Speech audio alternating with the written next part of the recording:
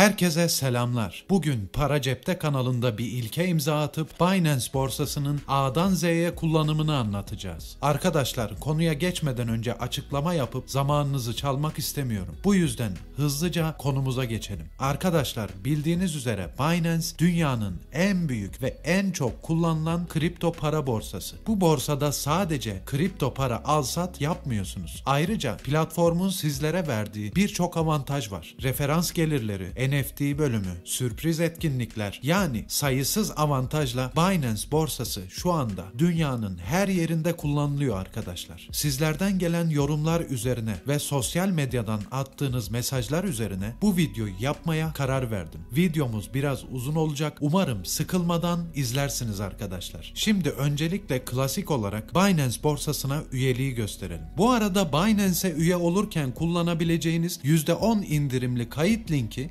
videonun açıklamalar kısmında arkadaşlar. Kayıt olmadan önce hatırlatmam gereken bir durum var. Binance'e üye oluyorsanız Binance TR'ye de üye olmanız gerekiyor. Çünkü Binance Global'de işlem yapabilmemiz için Binance Global'e dolar cinsinden yani Tether atmamız gerekli. Ama bunun için öncelikle Binance TR'ye Türk lirası yüklememiz gerekli arkadaşlar. Yani banka hesabımızdan Binance TR'ye Türk lirası göndermemiz gerekiyor. Öncelikle Binance'e nasıl üye olunduğuyla ilgili bilgileri paylaşalım. Şimdi gördüğünüz gibi buradaki kayıt ol butonuna dokunuyorsunuz. Hemen açılan sayfada telefon veya e-postayla kaydolun seçeneğine dokunuyorsunuz. Karşınıza çıkan bu seçenekten önce bölgenizi seçiyorsunuz. Yani Türkiye'deyseniz Türkiye'yi seçiyorsunuz arkadaşlar. Hemen buradan ülkemizi seçerek onayla diyoruz.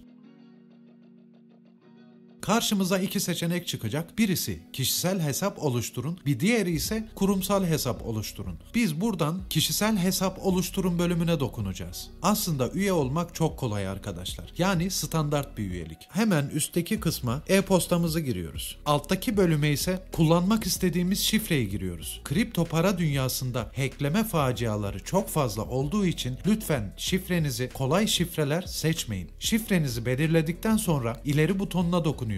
Bir sonraki açılan sayfada Binance'e üye olurken kullandığınız e-posta adresinize bir doğrulama kodu gönderiliyor. E-postanızı kontrol edip gelen doğrulama kodunu bu bölüme giriyorsunuz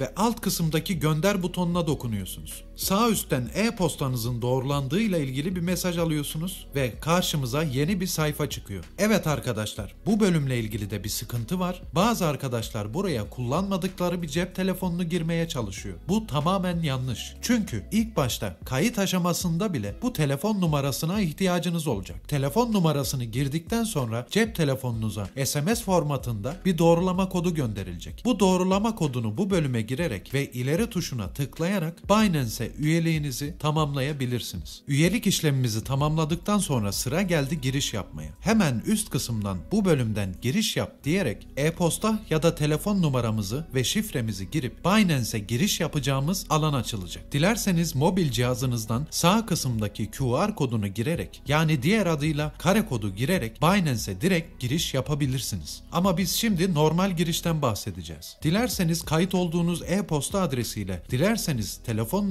numaranızla Binance'e giriş yapabilirsiniz. Kayıt olduğunuz telefon numarasını ya da e-postayı girip alt kısma şifrenizi girdikten sonra cep telefonunuza ya da e-posta adresinize bir doğrulama kodu gönderilecek. Yani cep telefonu numaramıza Binance'e üye olduğumuz süre boyunca ve Binance'i kullandığımız süre boyunca sürekli ihtiyacımız olacak. Şimdi bu kısımdan kodu al diyelim. Hemen cep telefonunuza bir doğrulama kodu gönderilecek. Bunu bu kısma girerek Binance'e otomatik olarak giriş sağlayabilirsiniz. Bazı durumlarda e-posta adresinize de bir doğrulama kodu isteyebilir. Böyle bir durum olduğunda e-postanızı mutlaka kontrol edin. E-postanızın sadece gelen kısmına bakmayın, istenmeyen ya da spam bölümüne de bakın. Binance'in ana sayfasına giriş yaptık. Fakat şöyle bir durum olacak arkadaşlar. Az önce de söylediğim gibi Binance güvenliği ilke edinmiş bir platform. Bunun için Binance'te kimlik doğrulamasına, adres doğrulamasına yani KYC'ye ihtiyacınız olacak. Hatta bazı durumlarda da ek doğrulama olarak sizden adres belgesi bile isteyebilir. Yani fatura ya da ikametgah belgesi. Bu tamamen sizin güvenliğinizle ilgilidir arkadaşlar. Hemen profil simgesine tıklayın, kimlik bölümünü seçin. Açılan sayfa kişisel doğrulama yani az önce bahsettiğim KYC bölümü arkadaşlar. Ben daha önceden doğrulamayı tamamlamışım. Yani kişisel verilerimi, resmi kimlik belgemi ve yüz doğrulamamı yapmışım. Buradaki kişisel veriler isminiz, soy isminiz, doğum tarihiniz gibi bilgiler. Daha sonrasında tabii ki bitmiyor. Bu bilgileri girdikten sonra resmi kimlik belgenizin önlü ve arkalı fotoğrafını istiyor. Bu da yetmiyor.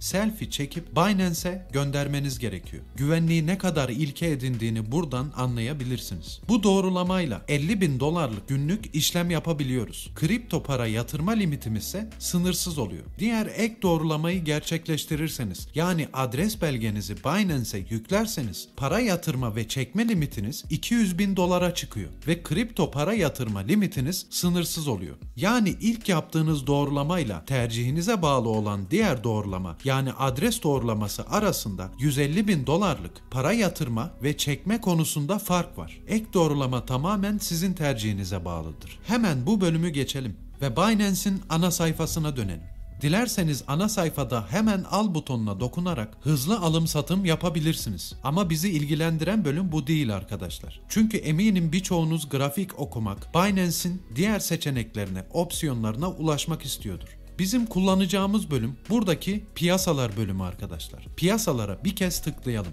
Bu sayfada Binance'in bünyesinde barındırdığı tüm kripto paralara ulaşabilirsiniz. Dilerseniz piyasalar bölümünün en alt kısmındaki listeden dilediğiniz kripto paraya alım satım işlemi yapabilirsiniz. Dilerseniz de coin adı ara bölümünden dilediğiniz coin'in ismini yazabilir ve bu biçimde aradığınız coin'i filtreleyebilirsiniz. Örneğin ben arama kısmına BTC yazdım. Hemen buradan bilgiler diyelim. Arkadaşlar neden önce alım satım değil de bilgiler bölümünü açtım? Çünkü yatırım yapmadan önce alım satım yapacağınız kripto para biriminin bilgilerine ulaşabilmelisiniz. Bakın Binance borsası kripto para birimlerinin ve itibari para birimlerinin arasında çeviri yapabilmeniz için bir hesap makinesi bırakmış. Buradan satın alacağınız birimi girip para biriminize göre fiyatını görebilirsiniz. Ve hemen alt kısımdan al kısmına dokunarak dilediğiniz kripto parayı satın alabilirsiniz. Diğer kripto para birimleri için de aynı işlemi yapabilirsiniz. Tekrar piyasalar bölümüne dönelim. Şimdi fiyat grafiğini, alım satım tahtasını görebileceğimiz alana geçeceğiz. Bunun için yine coin adı ara bölümüne örnek olarak BTC yazıyorum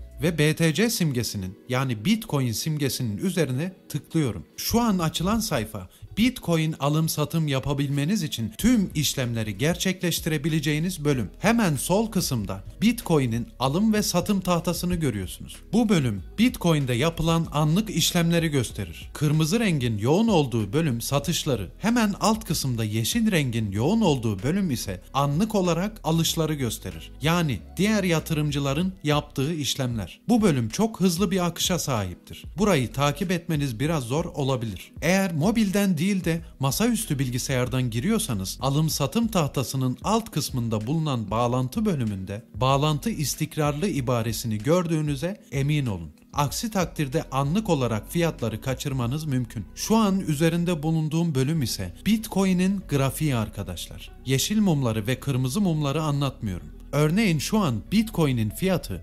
44.300 seviyelerinde. Bunu hemen bu kısımdan görebilirsiniz. Tabi grafiği analiz edebilmeniz için kendi tercihinize göre bir zaman dilimi seçmeniz gerekiyor. Bunun için de hemen üst kısımdan 15 dakika, 1 saat, 4 saat, 1 gün, bir hafta gibi seçeneklerden birini seçebilirsiniz. Ya da hemen yan kısımdan bu oka dokunarak zaman dilimini biraz daha spesifikleştirmeniz mümkün. Grafik analizinde genel olarak 4 saatlik zaman dilimi kullanılır arkadaşlar. Biraz daha ekranımızı büyütelim. Burada görmüş olduğunuz her bir mum şu anda 4 saatlik zaman dilimini simgeler. Eğer bu bölümü bir gün yaparsam buradaki mumların her biri 24 saatlik zaman dilimini simgeler arkadaşlar. Ama en istikrarlı ve doğru sonuçlar verebilen grafik analizleri genelde 4 saatlik zaman diliminde yapılır. Bu grafik sayfasını açtığınızda hemen alt kısımda Bitcoin grafiğinin haricinde çubuklar göreceksiniz. Bu çubuklardan yeşil olanları ilgili zaman diliminde alış yoğunluğunu gösterir. Şu an grafik analizi bölümüne girmeyeceğim. Sadece Binance'in genel olarak kullanımını anlatacağım arkadaşlar. Yalnızca bunları genel olarak bilgi sahibi olmanız için anlatıyorum. Şimdi ekranımızı küçültüp tekrar alım satım sayfasına dönelim. Açtığımız Bitcoin grafiğinin hemen sağındaki pencerede diğer kripto para varlıklarının bilgilerine erişebileceğiniz hızlı bir bölüm var. Yani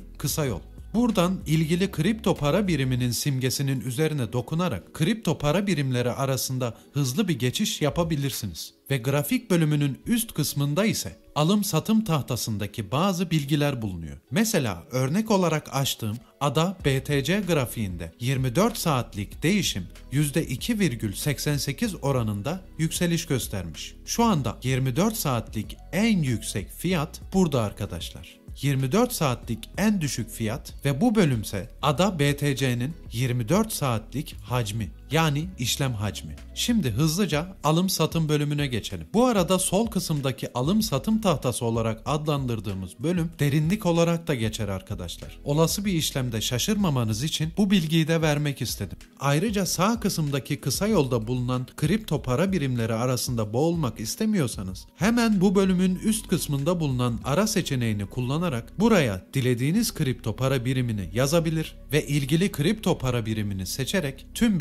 bilgilerine ulaşabilirsiniz. Şimdi ben buradan örneğin BTC'yi arayacağım. BTC ve Tether yani USDT aramalara BTC slash USDT yazdığımda hemen kısa yol bölümünde BTC USDT'ye ulaşabileceğim bir seçenek açıldı. Ayrıca işlem çiftinin sağ kısmında anlık fiyatını ve bir sağında ise anlık olarak değişimini inceleyebilirsiniz. Şimdi alım satım bölümüne geçiş yapabiliriz. Arkadaşlar bu bölüm önemli. Yapılan yanlışlardan dolayı anlık olarak zarara girmeniz mümkün. Yani yanlış işlemden dolayı paranızı kaybedebilirsiniz. Bu yüzden dikkatli dinleyin. Diyelim ki cüzdanımızda bir miktar USDT'miz var. Yani Tether'ımız. Şimdi alımı limit seçeneğiyle yaparsam Bitcoin Tether fiyatı burada belirlediğim fiyata değdiği zaman alım gerçekleşir. Ancak piyasa bölümünden alım satım yaparsam alt kısma alım satım yapacağım Tether miktarını yani kaç dolarlık BTC alacağımı girdiğimde anlık olarak piyasa fiyatından alım yapar. Yani ben bu bölüme gelip piyasayı seçtiğimde ve 100 dolarlık BTC al dediğimde o anki fiyatı neyse BTC alımını oradan gerçekleştirir. Limit seçeneğiyle arasındaki fark şu. Limit seçeneğiyle işlem yaptığınızda alım yapmak istediğiniz fiyatı manuel olarak girebiliyorsunuz. Mesela Bitcoin'in şu an anlık fiyatı 44.300 seviyelerinde. Ancak ben Bitcoin'i 43.000 civarlarından almak istiyorsam bu bölüme 43.000 yazdığımda Bitcoin'in fiyatı ne zaman 43.000 dolara gelirse tam olarak oradan alımım gerçekleşir. Ancak limit ve piyasa seçeneği arasında komisyon farkı vardır arkadaşlar arkadaşlar. Piyasa seçeneğiyle işlem yaptığınızda komisyon tutarı haliyle yüksek olacaktır. Sat kısmına geldiğinizde durum yine aynı. Dilerseniz burada da limit bölümünü kullanabilir ya da piyasa bölümünü kullanabilirsiniz. Şimdi alım satımı hızlıca gösterdikten sonra size Binance TR'yi de anlatmalıyım.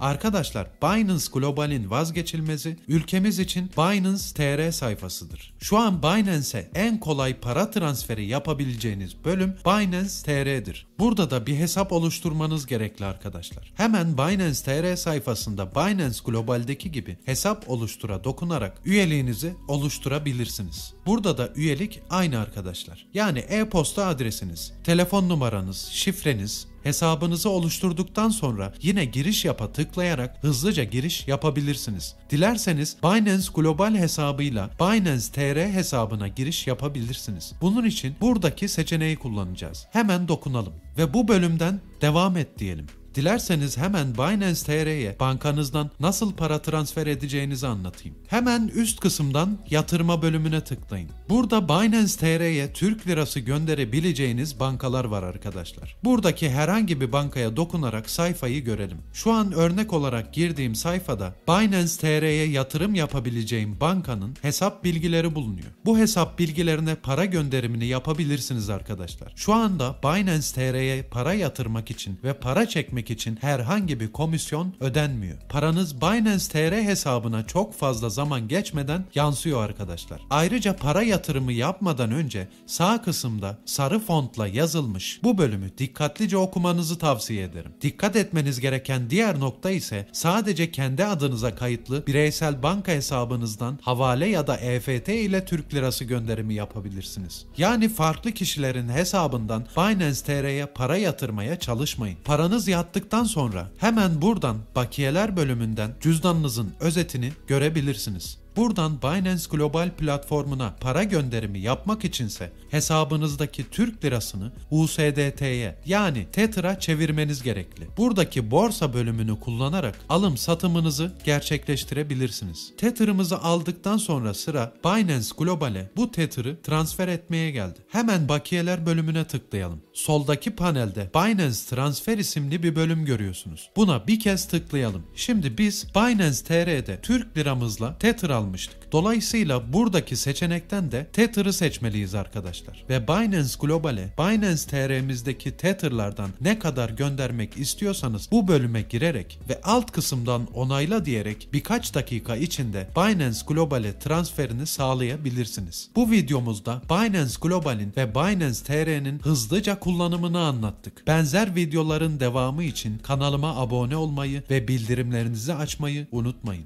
Diğer videoda görüşmek üzere. Şimdilik hoşça kalın.